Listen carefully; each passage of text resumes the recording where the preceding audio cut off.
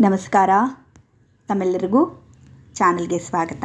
ಸ್ನೇಹಿತರೆ, ನಾಳೆ ನಾವು ಮಹಾಲಯ ಅಮಾವಾಸ್ಯೆ ಅನ್ನ ಆಚರಣೆ ಮಾಡ್ತಾ ಇದ್ದೇವೆ. ಈ ಒಂದು ಪಿತೃಪಕ್ಷದ ಕೊನೆಯ ದಿನ ಅಂತ ಹೇಳುವಂಥದ್ದು. ವಿಶೇಷವಾಗಿ ನಾವು ಪಿತೃಪಕ್ಷದಲ್ಲಿ ಈಗಾಗಲೇ ನಿಮಗೆ ಚೆನ್ನಾಗಿ ಗೊತ್ತಿದೆ. ನಾವು ಶ್ರಾದ್ದ ಪಿಂಡ ತರ್ಪಣವನ್ನು ನೀಡ್ತೀವಿ. ಹಲವಾರು ಜನ ಅವರವರ ಸಂಪ್ರದಾಯಕ್ಕೆ ಬದ್ಧವಾಗಿ ಶ್ರಾದ್ದ ಕರ್ಮಗಳನ್ನು ಮಾಡ್ತಾರೆ ಅಂದರೆ ಕೆಲವರು ಕೆಲವೊಂದು ರೀತಿಯಲ್ಲಿ ಈ ಒಂದು ಶ್ರಾದ್ದ ಅಥವಾ ಪಕ್ಷ ಅಂತ ನಾವೇನು ಹೇಳ್ತೀವಿ ಅದನ್ನು ಮಾಡ್ತಾರೆ. ನಾವು ಈ ಒಂದು ಮಹಾಲಯ ಅಮಾವಾಸ್ಯೆಯಲ್ಲಿ ನಾವು ನಮ್ಮ ಪಿತೃಗಳಿಗೆ ತರ್ಪಣವನ್ನು ನೀಡುವಂಥದ್ದು ಅಂತ ಇಲ್ಲ. ನಾವೇನೆಂದರೆ ನಮ್ಮ ತಂದೆ, ತಾಯಿ ಯಾರಿರ್ತಾರೆ, ಅವರ ಮರಣದ ತಿಂಗಳು, ಅಂದರೆ ಇವಾಗ ಅವರು ಮಾರ್ಚಲ್ಲಿ ತೀರ್ಕೊಂಡಿದ್ದಾರೆ.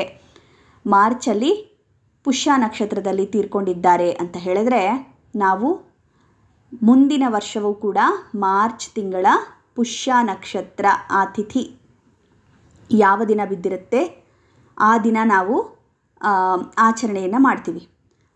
ಅಂದರೆ ವಾರ್ಷಿಕ ಶ್ರಾದ್ದ ಅಂತ ಹೇಳ್ತೀವಿ.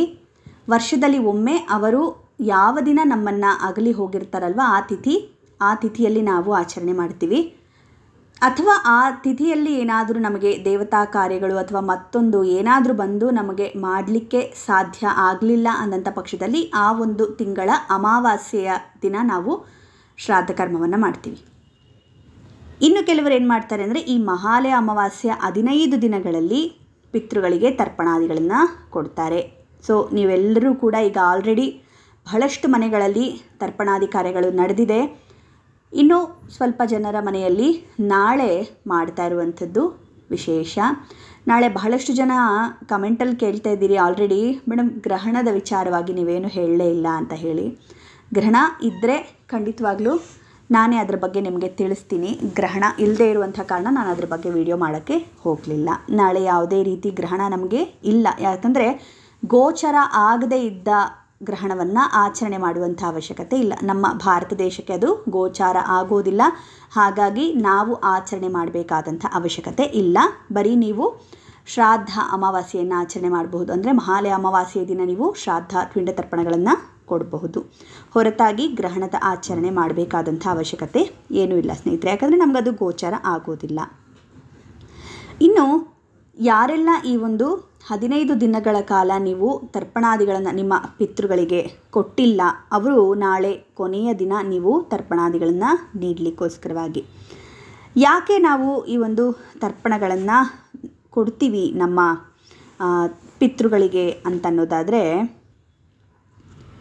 ಪಿತೃಪಕ್ಷದಲ್ಲಿ ಯಾವುದೇ ದೇವತಾ ಕಾರ್ಯಗಳನ್ನೇ ಆಗಲಿ, ಮಂಗಳ ಕಾರ್ಯಗಳನ್ನೇ ಆಗಲಿ ಮಾಡೋದು ಶ್ರೇಯಸ್ಕರ ಅಲ್ಲ ಅಂತ ಹೇಳಿ ತುಂಬ ಜನರ ಅಭಿಪ್ರಾಯ. ಯಾಕಂದರೆ ನಮ್ಮ ಕುಟುಂಬದ ಹಿರಿಯರು ಅಂದರೆ ಗತಿಸಿ ಹೋದಂಥ ನಮ್ಮ ಕುಟುಂಬದ ಹಿರಿಯರು ಮಾತಾ ಪಿತರಿಗೆ ಶ್ರಾದ್ದ, ಪಿಂಡ ತರ್ಪಣಗಳನ್ನ ನೀಡಿ ಅವರ ದಿವ್ಯಾತ್ಮಗಳನ್ನು ತೃಪ್ತಿಪಡಿಸಿ ಅಗಲಿದಂತಹ ಚೈತನ್ಯಗಳಿಂದ ಅನುಗ್ರಹ ಪಡೆಯುವಂಥ ಒಂದು ಪ್ರಶಕ್ತ ಕಾಲ ಈ ಪಿತೃಪಕ್ಷ ಅಂತ ನಾವು ಹೇಳ್ತೀವಿ. ಹಾಗೆಂದೇ ಈ ಒಂದು ಶ್ರಾದ್ದ ಕ್ರಿಯೆಗೆ ವಿಶೇಷವಾಗಿ ಪ್ರಾಧಾನ್ಯವನ್ನು ನೀಡಲಾಗಿದೆ. ಹಾಗಾಗಿ ಈ ಒಂದು ಹದಿನೈದು ದಿನದಲ್ಲಿ ನಾವು ಯಾವುದೇ ಶುಭ ಕಾರ್ಯಗಳನ್ನು ಮಾಡೋದಿಲ್ಲ. ದೇವತಾ ಕಾರ್ಯಗಳು ಅಂದರೆ ಮನೆಯಲ್ಲಿ ದೇವ್ರ ಪೂಜೆ ಮಾಡಬಾರ್ದ, ಅದೆಲ್ಲ ಅಲ್ಲ. ಶುಭ ಕಾರ್ಯಗಳು, ಮಂಗಳ ಕಾರ್ಯಗಳು ಅಂದರೆ ಈ ಮದುವೆ ಆ ರೀತಿಯ ಮಂಗಳ ಕಾರ್ಯಗಳು. ಸೀಮಂತ ಇರಬಹುದು, ನಾಮಕರಣ ಇರಬಹುದು, ಈ ರೀತಿಯ ಮಂಗಳ ಕಾರ್ಯಗಳನ್ನು ನಾವು ಮಾಡಬಾರ್ದು ಅಂತ ಹೇಳ್ತೀವಿ. ಹಾಗಿದ್ರೆ ಶ್ರಾದ್ದ ಅಂದರೆ ಏನು ಮೇಡಮ್ ಅನ್ನೋತಾ ಹೋದರೆ, ಎಷ್ಟೋ ಜನಕ್ಕೆ ಇದು ಗೊತ್ತೇ ಇಲ್ಲ, ಅವರು ಆಚರಣೆಯೂ ಕೂಡ ಮಾಡೋದೇ ಇಲ್ಲ. ನಮ್ಮ ಜನ್ಮಕ್ಕೆ ಕಾರಣರಾದಂತಹ ನಮ್ಮನ್ನು ಹೆತ್ತು, ಹೊತ್ತು, ಸಾಕಿ, ಸಲಹಿ, ನಮ್ಮ ಉದ್ಧಾರಕ್ಕೆ ಶ್ರಮಿಸಿ ನಮ್ಮನ್ನು ಅಗಲಿ ಹೋದಂತಹ ನಮ್ಮ ತಂದೆ ತಾಯಂದಿರಿರಬಹುದು ನಮ್ಮ ಹಿರಿಯರು ಮುಂತಾದವರನ್ನು ಸ್ಮರಿಸಿ ಅವರನ್ನು ಕುರಿತು ನಾವು ಶ್ರದ್ಧೆಯಿಂದ ಅನ್ನ ಜಲಾದಿಗಳನ್ನು ಕೊಡುವಂಥ ಪಿತೃಕಾರ್ಯಕ್ಕೆ ನಾವು ಶ್ರಾದ್ದ ಅಂತ ಹೇಳ್ತೀವಿ. ಈ ಒಂದು ಪಿತೃಗಳನ್ನು ಉದ್ದೇಶಿಸಿ ಶ್ರದ್ಧೆಯಿಂದ ಕೊಡಲ್ಪಟ್ಟಂತಹ ಈ ಒಂದು ದ್ರವ್ಯಗಳು ಏನಿರ್ತವೆ ಅವು ಮಾನಸಿಕವಾಗಿ ಭಾವನೆಯಿಂದ ಮಾಡುವಂಥ ಆಚರಣೆಯನ್ನು ನಾವು ಈ ಒಂದು ಶ್ರಾದ್ದ ಅಂತ ಹೇಳ್ತೀವಿ. ಏಕೆಂದರೆ ನಮ್ಮ ಪಿತೃಗಳು ನಮ್ಮ ಒಂದು ಈ ತರ್ಪಣಕ್ಕೆ ಏನು ನೀವು ಪಿಂಡ ಪ್ರದಾನವನ್ನು ಮಾಡ್ತೀರಿ, ಅದಕ್ಕೋಸ್ಕರವಾಗಿ ಕಾಯ್ಕೊಂಡು ಕೂತಿರ್ತಾರಂತೆ. ಅವರಿಗೆ ಹೊಟ್ಟೆ ತುಂಬಿಸ್ಕೊಳ್ಳಿಕ್ಕೋಸ್ಕರವಾಗಿ. ಅವರಿಗೆ ಊಟನೇ ನಾವು ಈ ಪಿಂಡ ಪ್ರದಾನವನ್ನು ಏನು ಮಾಡ್ತೀವಿ, ಅದೇ ಅವರಿಗೆ ಊಟ.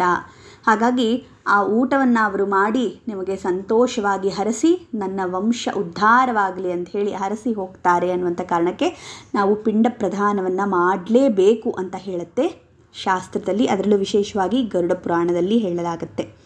ಯಾಕಂದರೆ ನಾವೇನು ನಮ್ಮನ್ನು ಅಗಲಿ ಹೋದಂತಹ ಪಿತೃಗಳಿಗೆ ನಾವು ಕೊಡುವಂಥ ಈ ಜಲಾಂಜಲಿ ಪಿಂಡ ಪ್ರದಾನದಿಂದ ಅವ್ರು ಹೇಗೆ ತೃಪ್ತರಾಗ್ತಾರೆ ಹಾಗಿದ್ದರೆ ಅಂತ ನೀವು ಕೇಳಬಹುದು.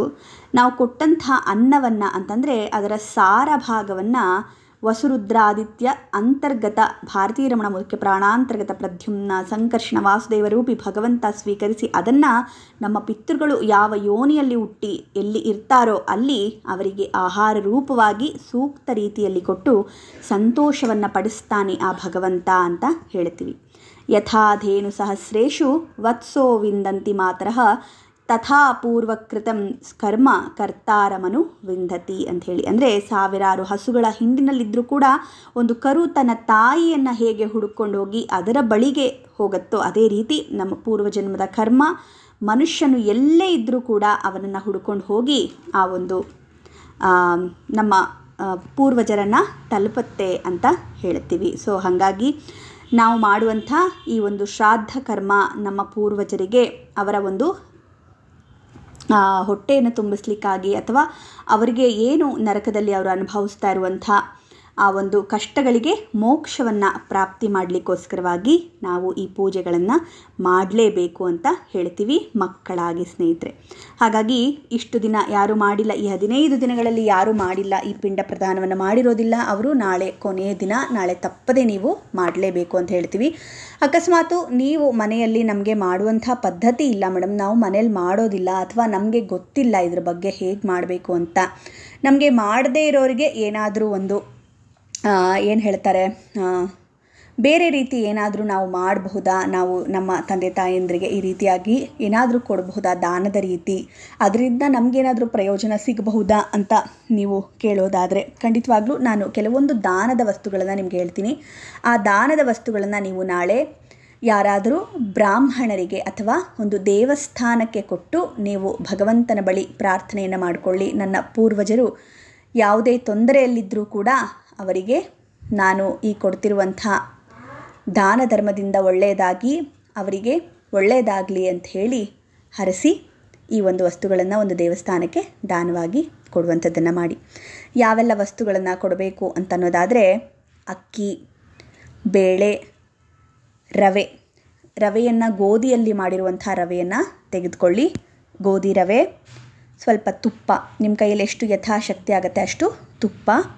ಹಾಲು, ಸಕ್ಕರೆ ಮತ್ತು ತರಕಾರಿಗಳು. ಇಷ್ಟನ್ನು ಕೂಡ ನೀವು ತೆಗೆದುಕೊಂಡು, ನಿಮ್ಮ ಯಥಾಶಕ್ತಿ ತೆಗೆದುಕೊಳ್ಳಿ. ಇಷ್ಟೇ ತೆಗೋಬೇಕು ಅಂತೇನಿಲ್ಲ. ನಿಮ್ಮ ಯಥಾಶಕ್ತಿ ಈ ಒಂದು ವಸ್ತುಗಳನ್ನು ನೀವು ತೊಗೊಂಡು, ಯಾವ್ಯಾವುದನ್ನು ತೊಗೋಬೇಕು ಹೇಳಿ ನಾನು ಡಿಸ್ಕ್ರಿಪ್ಷನಲ್ಲಿ ಹಾಕಿರ್ತೀನಿ. ಅಷ್ಟನ್ನು ತೊಗೊಂಡು ಒಂದು ತಟ್ಟೆಯಲ್ಲಿ ಅದನ್ನೆಲ್ಲ ಇಟ್ಕೊಂಡು, ನೀವು ಯಾವುದಾದ್ರೂ ದೇವಸ್ಥಾನಕ್ಕೋ ಅಥವಾ ಬ್ರಾಹ್ಮಣರಿಗೋ ಆ ವಸ್ತುಗಳನ್ನು ದಾನವಾಗಿ ಕೊಡೋದ್ರಿಂದ ನಿಮ್ಮ ಪಿತೃಗಳು ಕೂಡ ಏನಂತಾರೆ ಅವರ ಒಂದು ಪಿತೃಗಳಿಗೆ ನೀವೇನು ಪಿಂಡ ಪ್ರದಾನವನ್ನು ಮಾಡ್ತೀರಿ, ಅಷ್ಟೇ ಫಲವನ್ನು ನೀವು ಪಡ್ಕೊಳ್ತೀರಿ ಅಂತನ್ನುವಂಥದ್ದು ನಿಮ್ಮ ಪಿತೃಗಳಿಗೂ ಕೂಡ ನೆಮ್ಮದಿಯನ್ನು ಕರುಣಿಸುತ್ತೆ. ಅವರು ಕೂಡ ಇದನ್ನು ಸ್ವೀಕಾರ ಮಾಡ್ತಾರೆ ಭಗವಂತನ ಮೂಲಕ ಅಂತ ಹೇಳಿ ಹೇಳುವಂಥದ್ದು. ಸೊ ನಾಳೆ ಯಾರೆಲ್ಲ ಶ್ರಾದ್ದ ಕರ್ಮಗಳನ್ನು ಮಾಡೋದಿಲ್ಲ, ಅವರು ಇಷ್ಟನ್ನು ದೇವಸ್ಥಾನಗಳಿಗೆ ಅಥವಾ ಯಾರಾದರೂ ಬ್ರಾಹ್ಮಣರಿಗೆ ಕೊಟ್ಟು ನಮಸ್ಕಾರವನ್ನು ಮಾಡಿಕೊಂಡು ಬನ್ನಿ ಸ್ನೇಹಿತರೆ. ಇದು ನಾಳೆ ವಿಶೇಷವಾಗಿ ನೀವು ಮಾಡಲೇಬೇಕಾದಂಥ ಒಂದು ಕೆಲಸ. ಇಷ್ಟು ದಿನ ಯಾರೂ ಮಾಡಿಲ್ಲ. ನಾಳೆ ಖಂಡಿತವಾಗ್ಲೂ ತಪ್ಪಿಸ್ಕೊಳ್ಳದೆ ಶ್ರಾದ್ದ ಕರ್ಮಾದಿಗಳನ್ನು ಮಾಡಿಕೊಳ್ಳಿ. ನಾಡಿದ್ರಿಂದ ನವರಾತ್ರಿ ಪ್ರಾರಂಭವಾಗ್ತಾ ಇದೆ. ಸೊ ಇದು ಇವತ್ತಿನ ವಿಡಿಯೋ. ಮುಂದಿನ ವಿಡಿಯೋಗಳಲ್ಲಿ ಹೆಚ್ಚಿನ ಮಾಹಿತಿಗಳನ್ನು ನವರಾತ್ರಿ ವಿಷಯವಾಗಿ ನಿಮಗೆ ತಿಳಿಸ್ಕೊಡ್ತೀನಿ. ನಮಸ್ಕಾರ.